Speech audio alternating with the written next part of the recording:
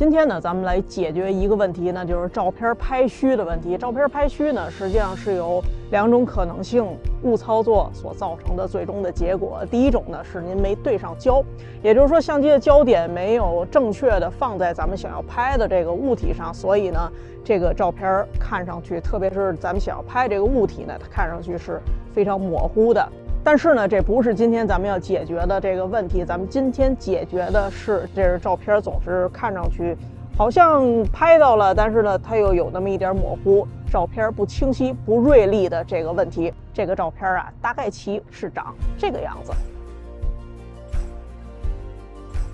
大家好，我是艾丽，欢迎收看旅行摄影幺零幺。咱们这一系列的内容呢，主要是解决相机的基础操作问题。那么，如果您是刚买相机，或者是刚刚接触摄影，欢迎关注我的频道，我会分享很多咱们在平时旅行和实际的生活以及扫街的过程当中遇到的一些实际的问题以及它的解决方法。咱们在解决这个问题之前呢，咱们先来分析一下为什么会拍虚。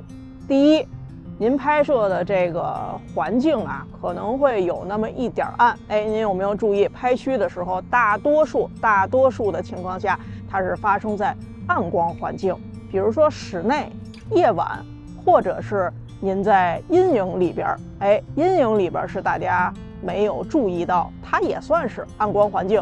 其实没有太阳直接照射，或者是没有灯直接照的时候，比如说，哎，今天这个阴天，其实啊，它也有点阴影。咱们在云彩的这个阴影里边嘛，阴影里边实际上它的光线呢也是属于比较暗的。虽然它比室内要亮，但是它会比有大太阳光的这种白天比较亮堂的时候呢，还是会暗一点。所以咱们姑且把阴影和阴天的环境呢也算作暗光环境。所以在这些情况下呢，我们很容易把照片拍虚。还有一种可能性呢，就是咱们在使用长焦镜头的时候，也就是大于八十毫米的焦段，哎，这都算是长焦镜头。在使用这些焦段的时候，照片也很容易拍虚，特别是焦段越长，拍虚的几率就会越大。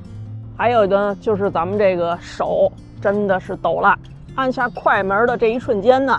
哎，手轻微的抖动了那么一点点。哎，您别小看这个抖动，实际上啊，咱们自己感受不到，但是相机很敏感，它就感觉到咱们摁下这个快门的一瞬间，这个相机啊稍微晃了一点点。以上这几点呢，都是主观上咱们自身所造成的这个拍虚的问题。那么还有一种可能性呢，就是咱们拍的这个对象它移动了，那也有可能造成它拍虚。比如说，您有没有发现拍您家孩子跟您那小宠物？太容易虚了，因为他们动作太快了。咱们这个相机如果跟不上的话，那么百分百您拍出这孩子跟这猫或者狗，它肯定是虚的。那么几乎所有拍虚的问题，实际上咱们都可以归结到一个最重要的点，那就是快门速度。也就是说，我们没有使用一个恰当的快门速度锁定这个画面，所以导致了最终。开虚的这样的一个结果，所以呢，我还是要重申一个非常非常重要的概念呢，就是安全快门。虽然今天当相机和镜头都有了防抖功能，并且这个防抖的能力越来越高的时候，但实际上，呃，安全快门还是需要牢记于心的。虽然咱不用完全按照过去的这个安全快门的理念去按部就班的去拍摄，但是在脑子里边咱们形成这样的一个概念就好。什么是安全快门？一个最简单的方法，那就是您的镜头焦段此时此刻正在使用的焦段是多少，那么这个数字就是快门速度的分母位置。也就是说，如果我现在用的是一百二十的镜头焦段。那么我的快门速度不应该低于一百二十分之一。在使用八十毫米以上的焦段的时候，这个安全快门的概念呀尤为的重要，因为在使用这些焦段的时候，无论有没有防抖，相机的这个防抖和镜头防抖功能多好，都非常容易拍虚。所以在使用八十毫米以上的焦段的时候，我仍然建议大家能够去遵循安全快门这个理念。当使用八十毫米以下这些焦段的时候，实际上我就不太去刻意的把它锁定在安全快门之上了。特别是如果我使用的是二十四毫米怎么办？难道使用二十四分之一的快门速度吗？那肯定还是会拍虚了。所以平时日常咱们比较常用的这些二十四、二十八、三十五、五十，甚至于是八十毫米的这些焦段，该怎么用呢？那首先呢，我们要了解一个概念，就是说，快门的速度设置的越快，那么它越能够抓拍到一些动作非常快的瞬间。通常一千分之一秒，咱们会拍摄一些非常快的，比如说鸟啊、动物啊什么的，都会用到这么快的快门，甚至于要更快。平时去拍摄一些跑步，或者说一个摩托车在街边跑过，五百分之一秒，基本上能够锁定到。像平时扫街，如果我要去拍摄一些街边的人，或者说呃有一些街边表演，那我会尽量把相机的快门速度锁定在二百五十分之一秒。总之，在拍摄之前呢，咱们先目测一下拍摄对象它的移动速度。那么它的速度越快，我们要设置的相机的快门速度就要越快，来适应它的这个速度。如果咱们拍摄一张，哎，发现虚了，那就提高这个快门速度。然后再拍一张试一试。在这儿呢，想要给所有的小伙伴们一个小小的建议，那就是拿起相机去测试一个自己的安全快门数值。我的安全快门我定义为六十分之一秒，也就是当我拿起相机，无论在任何的场合下，我看到这个屏幕里的快门速度低于六十分之一秒的时候，那就要引起我自己的注意了，因为。再往下走的话，它就不在我自己的安全区了。我需要调整其他的参数，把这个快门速度拉回到我自己的安全范围之内。哎，您还真别太自信，给自己设置一个特别低的快门速度，因为在不同的时候，这个自己的安全的快门啊，它还真不一样。比如说，您要是喝了酒，或者说今天没太睡好，没吃饱饭，那都有可能端不稳相机。就算是有相机机身防抖和镜头防抖的情况下，那么这个安全快门呢，也不要把它设置到特别低。咱们可以设置一个，比如说打开相机机身防抖的时候，咱们的这个安全快门自己能端到多稳，然后再关闭它，再设置一个，自己心里有这么一个数。这两个参数就是自己的这个敏感区，只要是相机。低于这个数值，就要引起自己的特别关注了。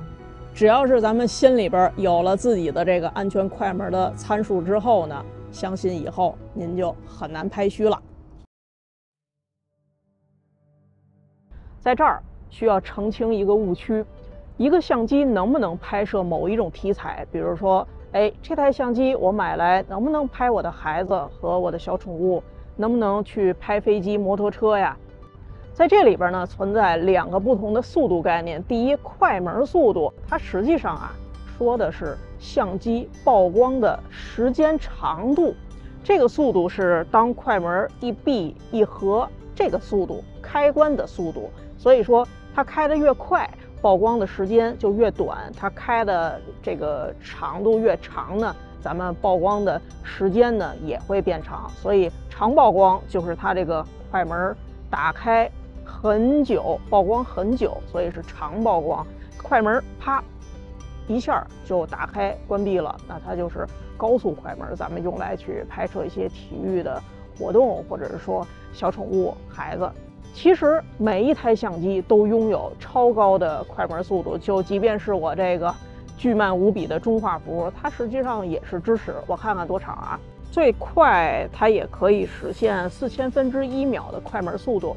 那实际上能不能拍高速题材，实际上跟快门速度没有直接的关系，而相机的响应速度才是真正会影响到咱们到底能不能拍摄一些高速的题材，它的连拍速度够不够的一个罪魁祸首。响应速度，我之前就提到过这个事儿，咱们就拿这个中画幅为例，它的响应速度就特别的慢。现在呢，打开这个连拍模式。哎，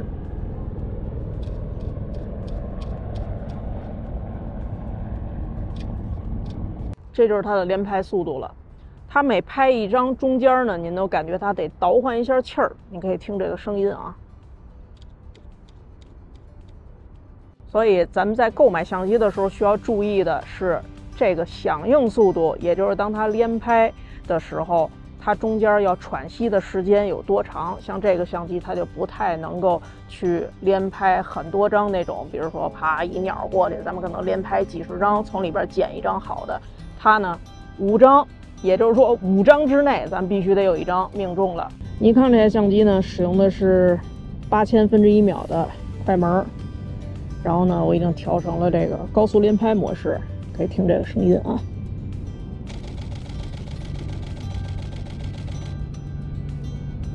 它连拍速度很慢呢，它中间的那个喘息和黑屏的时间呢，就会相比较来讲要更长。那么连拍速度快点的机器呢，在中间的这个黑屏跟喘息的这个速度呢，相对来讲就要更快一点，所以它才更适合去连拍。所以如果您购买相机的最终的目的就是去拍您的跑得倍儿快的这个孩子跟小宠物的话，那么去买相机的时候一定要注意一个，那就是它的连拍速度。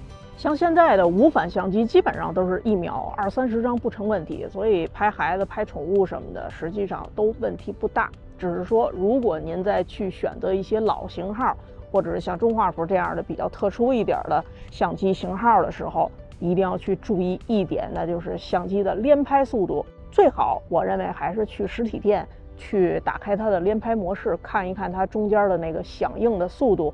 以您平时去拍摄某种高速题材的经验，您来感受一下它的这个响应的这个间歇能不能应对您所拍摄的那个题材。当然，最好还是租一台先试试，对不对？在这儿呢，咱们稍微提一下一个正确的握相机的方法啊。这个知识虽然特别的基础，但是我认为还是非常非常有用的。特别是初次买相机的小伙伴们，这个手呢可能会有点无处安放。实际上呢，咱们握住相机的手指头啊，只有三个：大拇指压住相机的背部，这两个手指头抠住相机的这个手柄。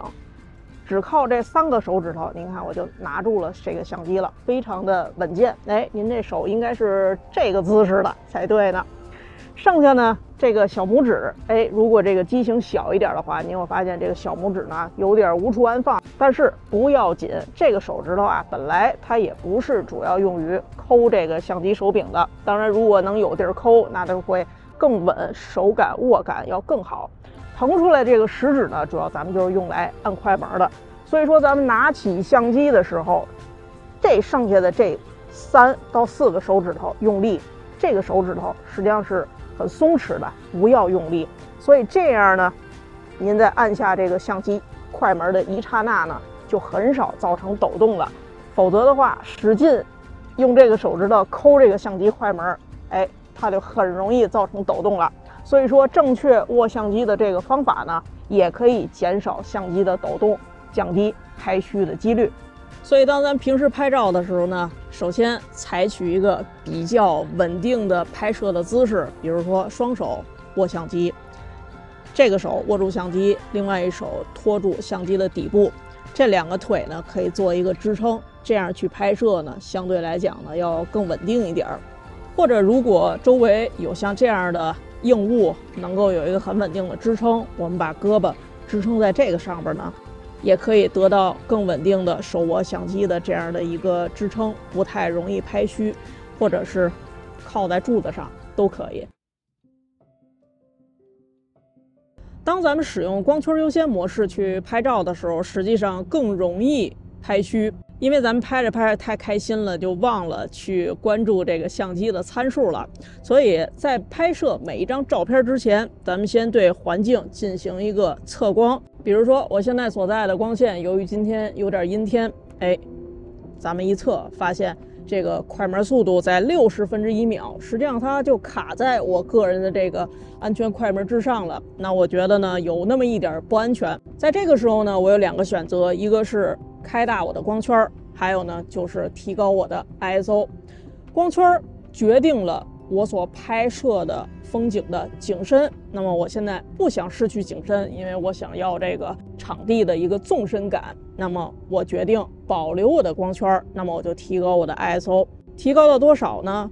直到这个快门速度到达一个比较安全的。那么现在我呢是一百六十分之一秒和二百分之一秒，哎，相对来讲我觉得就更安全了。再加上我现在有一个比较稳定的支撑相机的姿势，那么我就可以安全的拍摄了。那么如果在某些情况下我不能提高 ISO 了，比如说 ISO 现在已经是六千四了，那么我剩下的就只能是加大我的光圈了。所以是在选择加大光圈还是提高 ISO 的时候呢，在我们的脑海里应该有两个抉择。那么我们要了景深，就要不了。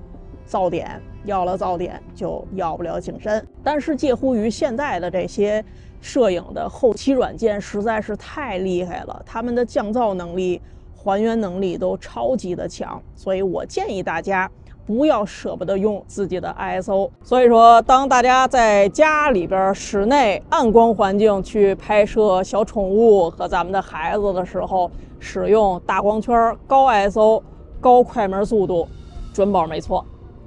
不信，您明天就试试，肯定虚不了，放心吧。